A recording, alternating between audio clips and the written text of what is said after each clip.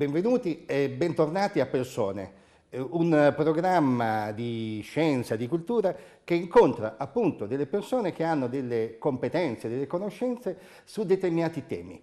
Oggi il tema che eh, affrontiamo è la gratitudine e la felicità e lo facciamo con eh, un filosofo, Giuseppe D'Acunto, professor Giuseppe D'Acunto, che è docente di filosofia in diversi istituti, tra l'altro anche alla UPTER di Roma, e col quale abbiamo già imbastito eh, prima della trasmissione un ragionamento sia sulla gratitudine sia sulla felicità. Sono temi che per noi a volte eh, rappresentano un po' un'utopia, sia l'uno che l'altra, perché spesso diciamo, eh, professore, diciamo spesso che eh, fai un bene, fai del bene e poi ti devi dimenticare di averlo fatto, perché la gratitudine è un bene prezioso e se non raro. Che cosa, che cosa ne pensi? Che cosa ne dici? Beh, io partirei molto semplicemente dalla ricerca di una definizione, no?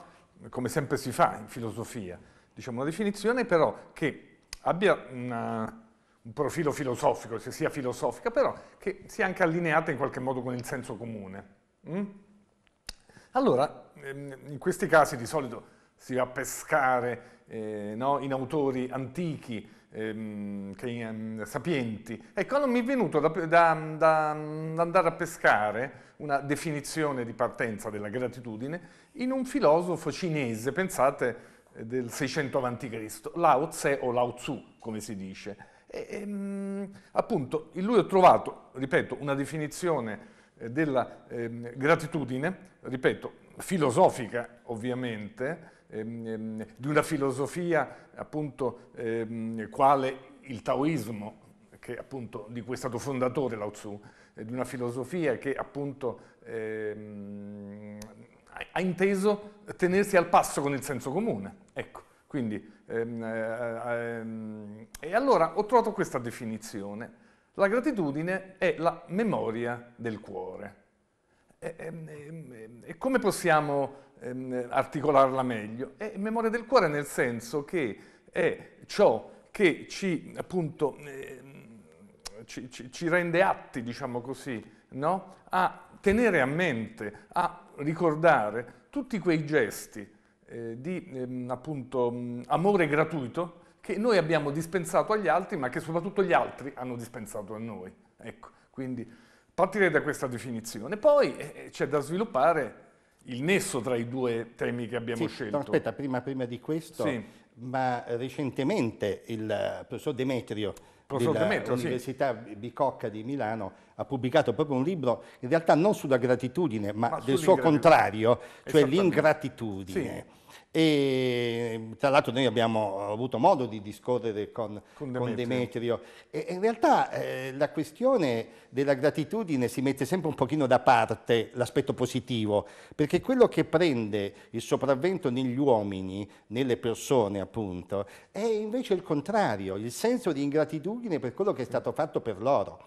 E siccome è un sentimento popolare molto forte, eh, perlomeno io lo percepisco tantissime volte quando si dialoga con le persone, è molto molto presente, nel, come è, bella la citazione che hai fatto, eh, perché chiaramente la passione, eh, quello che c'è dentro, eh, quell'amore che tu hai dentro, a un certo punto deve essere anche un po' risvegliato, no? deve essere anche un po' toccato, però sappiamo che molto spesso questo non accade. Eh, ma secondo te perché le persone tendono a dimenticare di aver avuto un atto di, di gratitudine da parte di un'altra persona? Perché tendono eh, a dimenticarlo? Appunto, allora mi fai, mi fai, pensare proprio al modo in cui inizia questo libro, di cui appunto anche dobbiamo parlare un po', perché mh, ha segnato, appunto, è uscito l'altro anno, quindi eh, di, mh, allora, Demetrio, appunto, a parte che inizia proprio dicendo tutti siamo affetti dal morbo dell'ingratitudine, tutti, prima o poi, inizia proprio così, no? quindi ci fa capire che la, la fatica sta proprio nel, nell'espungere il più possibile, nell'emendare questo, eh, questo, morbo che ci, no? ci visita tutti. Ecco. Poi diceva, diceva, Demetrio sempre, perché appunto è un libro eh, veramente che io, la cui lettura consiglio Beh, a tutti, molto ricco, eh, molto ricco, che appunto la difficoltà sta non tanto nel non riconoscere i favori che sono stati, eh, ci sono stati elargiti, ma nel non riuscire a sopportare il peso della gratitudine, lui dice, no?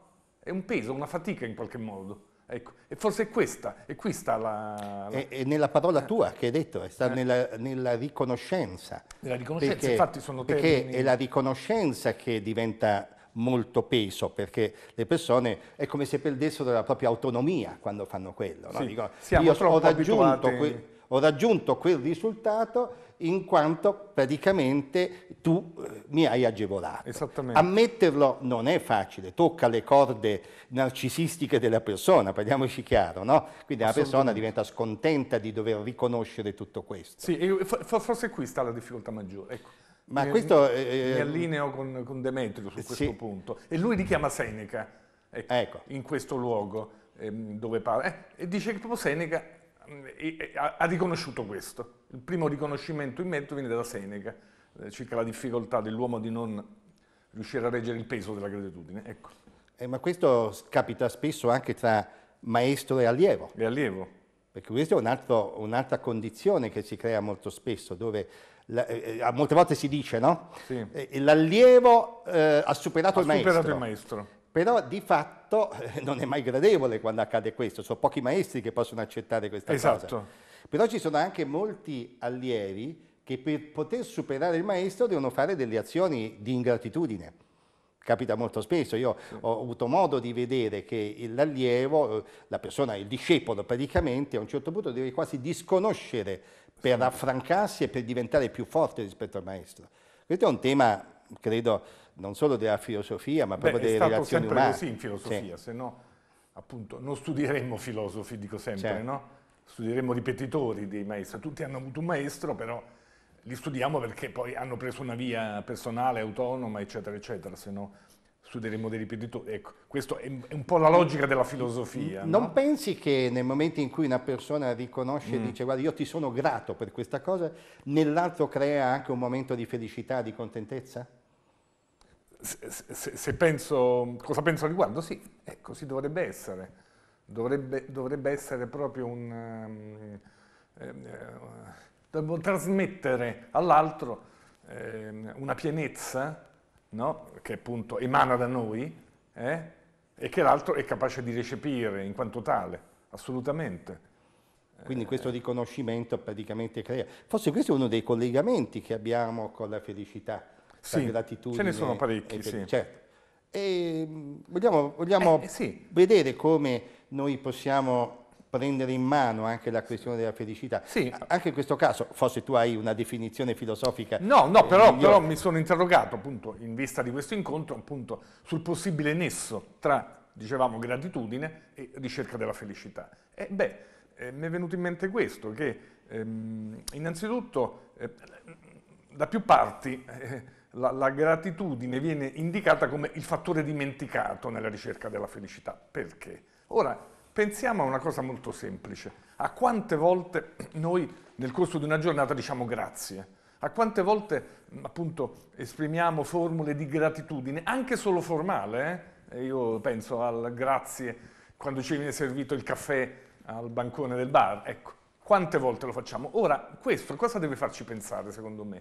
Quanto è importante, ehm, diciamo, la coltivazione quotidiana della gratitudine l'esercizio continuo, l'allenamento ininterrotto.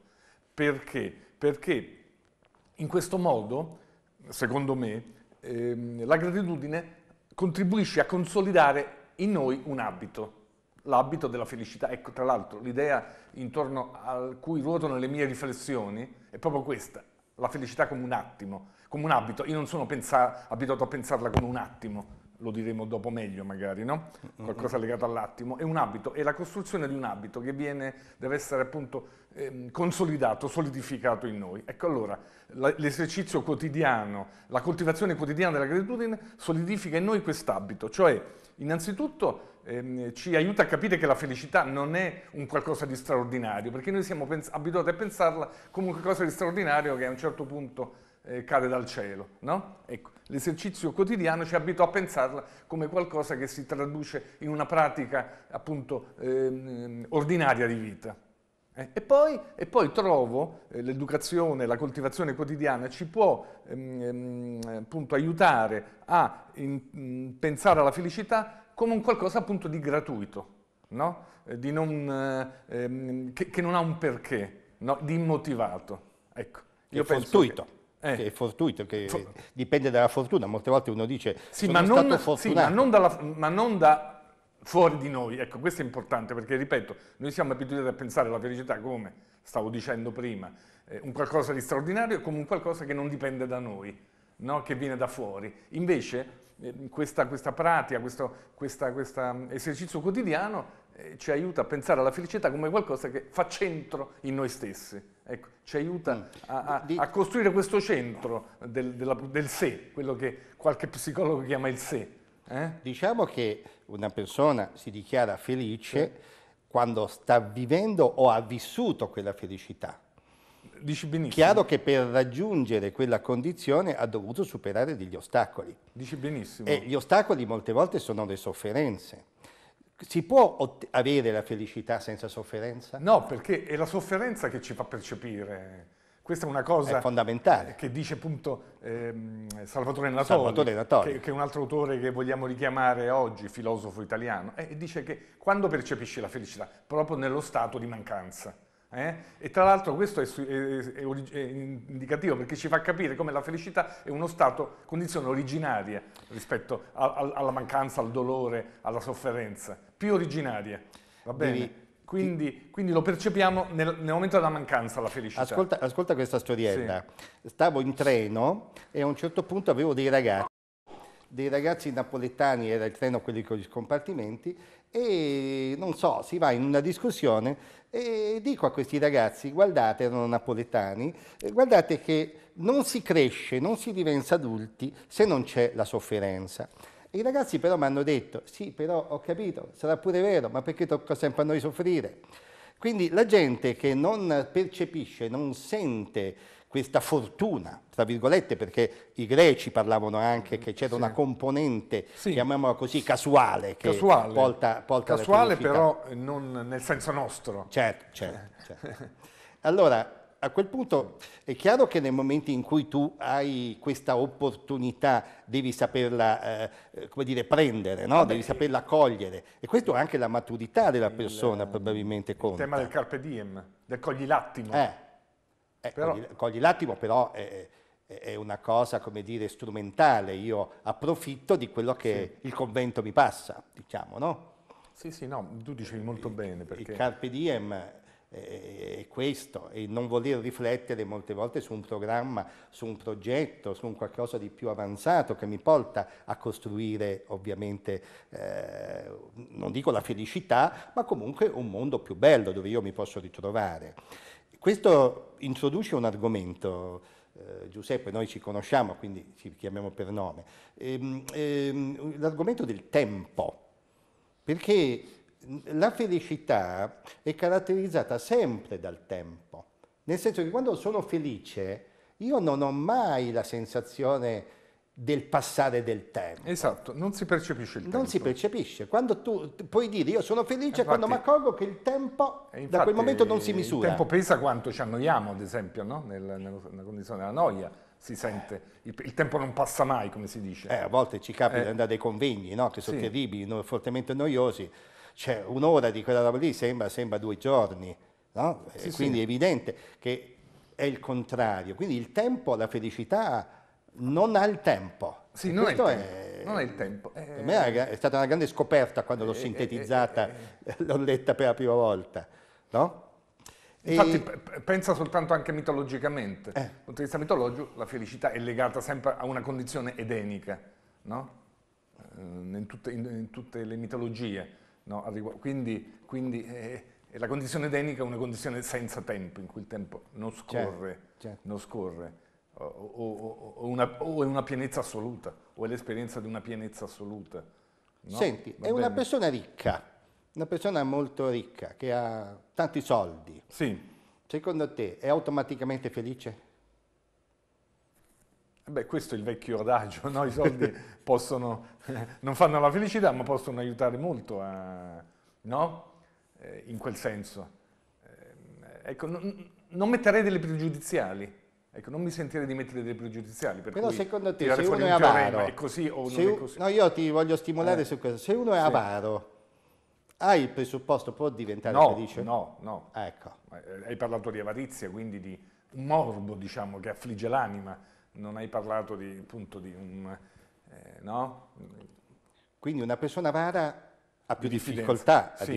più, è più difficile per lui diventare felice. Assolutam assolutamente. Quindi una persona generosa, per converso, invece ha più facilità di essere più felice. Facilità, eh, eh, sì, perché come dicevo, eh, come si consolida quell'abito a cui facevo accenno? Eh, esercitando azioni in quel senso. Come si diventa buoni? Facendo azioni buone. C'è poco da fare, no? no? Quindi... Certo. Scusa se vado su argomenti che non c'entrano con la filosofia, sì. ma c'entrano più con la politica. Sì. Ma questa cosa che addirittura la Costituzione americana... Sì. Il che, diritto alla felicità. È che c'è questo diritto alla felicità per, per i cittadini, per che poi magari anche lì non applicano la Costituzione, insomma magari sarà vero, no? Allora, Però l'hanno scritto. Sì, la, la Costituzione, la dichiarazione di indipendenza del famoso 4 luglio 1700 76 se ricordo bene. E beh, appunto, eh, viene sancita questo diritto eh, universale, questo diritto dell'uomo alla appunto, felicità, al perseguimento di esso, oltre che alla libertà, eccetera, eccetera. Ora mi viene in mente di aver letto a suo tempo un'osservazione sempre molto eh, puntuale di Umberto Eco, no? eh, che è anche il caso di ricordare in questa occasione. E Umberto Eco diceva, certo, eh, caspita, è importante questa dichiarazione perché è il primo documento in assoluto al riguardo, però ha prodotto degli equivoci, lui diceva in un articolo che pubblicò sull'Espresso, se ricordo bene, sua, eh, nello spazio che teneva lì. E diceva equivoci, cioè alimenta, promuove un'idea di felicità come felicità esclusivamente personale. Eh? Eh, non come felicità del genere umano. E poi non, non prescrive come obbligo quello di ehm, ehm, diminuire il più possibile il tasso di infelicità. Ecco, questo dovrebbe avere come rovescio il diritto alla felicità, l'impegno di, di, diminuire il più possibile di, no? Eh, il, il, tasso di infelicità degli, eh, no? anche, anche, anche, nostre, capito? E, e, e, qui sarebbero, gli, secondo Umberto Eco, qui ehm, avrebbe prodotto degli equivoci quella dichiarazione eh, di, di indipendenza americana. Ma secondo te gli italiani sì. li classificheresti che sono propensi alla felicità oppure sono, vanno incontro all'infelicità? Come giudicheresti il comportamento che, che registriamo, diciamo, negli italiani?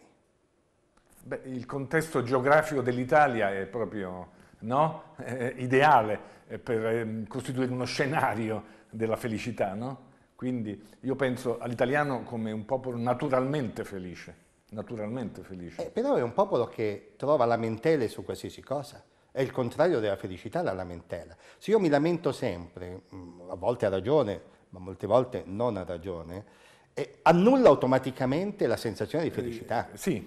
Quindi la rabbia che monta una persona che si lamenta non costruisce felicità, semmai il contrario, lo fa sentire più triste.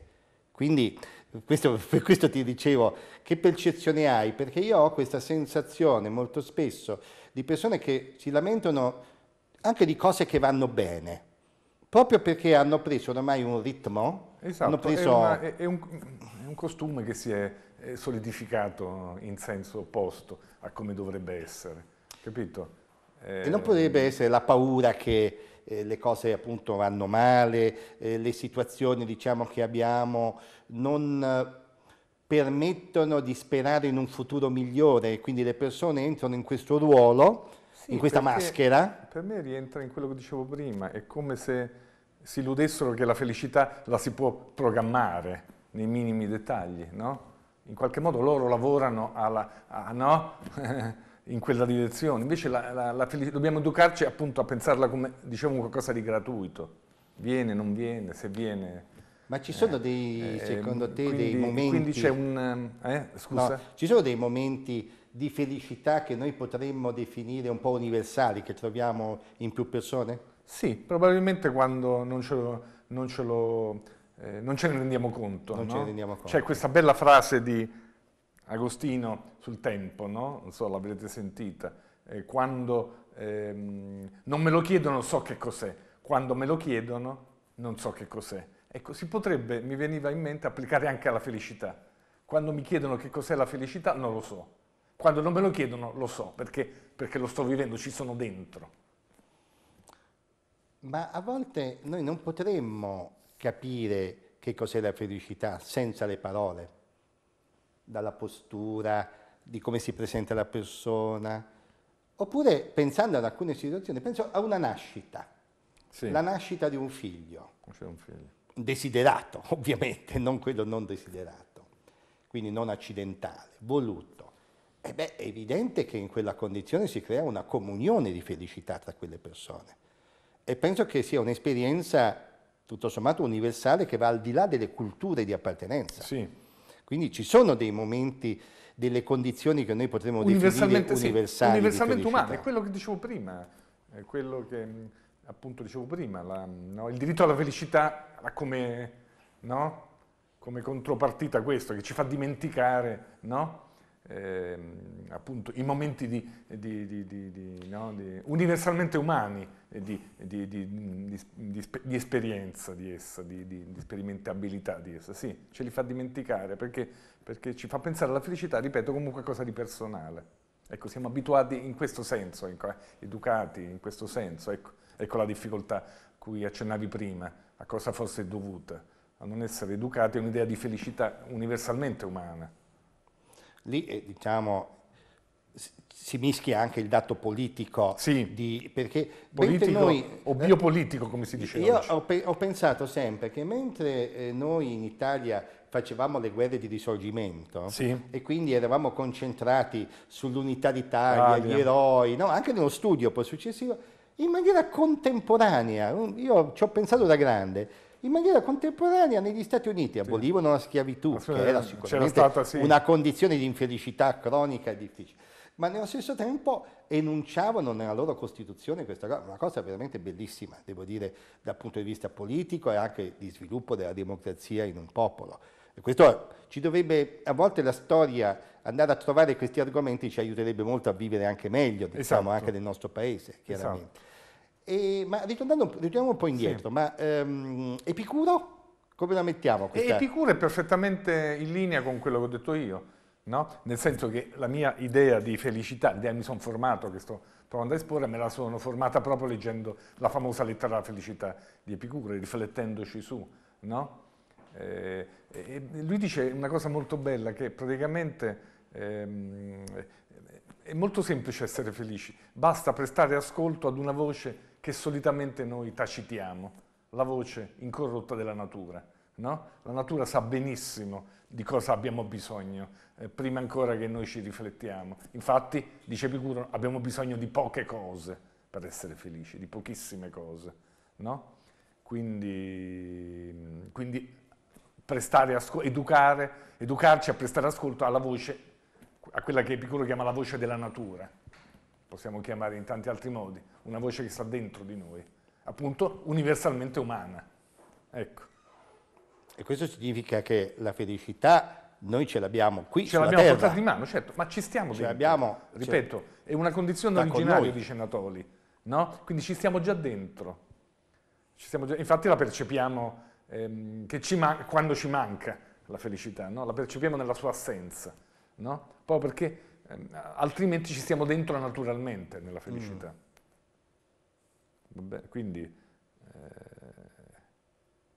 Bene, eh, allora vediamo adesso in questa parte finale, abbiamo sì. ancora po pochi minuti, come possiamo mettere veramente insieme quel senso di gratitudine che ci farebbe piacere eh, ritrovare molte volte nelle persone. Mi piace il tuo esempio rispetto alla, alla quando vai a prendere il caffè che uno ringrazia per il fatto eh. che viene dato. Certamente se il caffè però non è buono, il ringraziamento diciamo non sì, è però fuori di solito, Si diventa ipocriti poi, però diciamo. Permettimi, eh, di solito si ringrazia prima quando viene servito, quindi... ah, è vero. Come dire... Poi dopo se non è buono stai zitto. pregiudicato diciamo. il grazie, ancora... Ecco, Quindi... Ecco, è assoluto, ecco, assoluto, incondizionato il grazie, perché, Quindi, perché è un grazie al gesto, capito? Certo.